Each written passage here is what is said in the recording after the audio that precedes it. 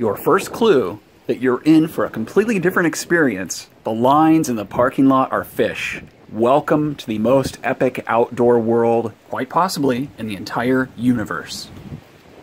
What a way to make an entrance. Even the lobby is majestic. It has the feel of a grand hunting lodge.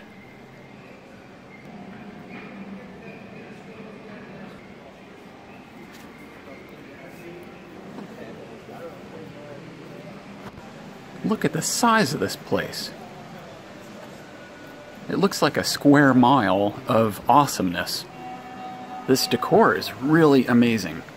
It's themed based upon which department you're in. For example, we're in fishing right now. Look at those fish and those sharks. This is the hunting department. It's got a waterfall, some lakes, bears, and a giant aquarium.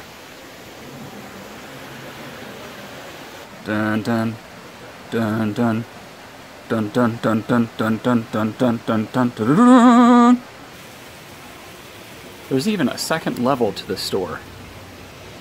Let's take the escalator up. Look out for the wildlife. The attention to detail in this place is unbelievable. Here's a view overlooking the waterfall you really get a feel for how massive this place is. I've never seen anything like this before. They even have an indoor pistol and rifle range. If firearms aren't your thing, they even have an archery range right inside the store. What's this? There's a whole other wing to the store The store seems to have no end. It keeps going on and on and on. What's this? More waterfalls? Yep, more waterfalls. Oh, and that is a casino back there, and another aquarium. But I'll save that for a future episode. Heading downstairs, you see another amazing display. Man, the passion, the attention to detail here. It really inspires me to get out in the wild. Oh yeah, and if the real rifle and archery ranges aren't your speed, they have a good old-fashioned shooting gallery here. Just put some quarters in, take aim, and fire. Where were stores like this when I was a kid?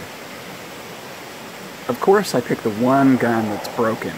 I'm really not that bad of an aim, guys.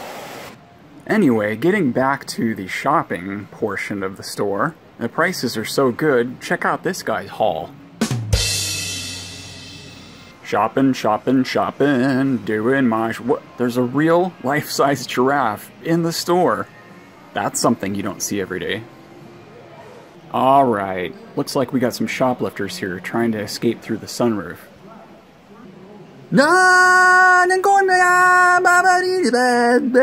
I don't know the lyrics to that song. Ah, yes, the circle of life. I really recommend going to the store and checking these displays out in person. They are simply breathtaking. Alright, thanks for checking out today's episode. If you haven't subscribed yet, what are you waiting for? You can turn on notifications so that you never miss out when I release a new episode. As always, I'd love to hear your feedback. Go ahead and leave a comment below. Thanks again for watching.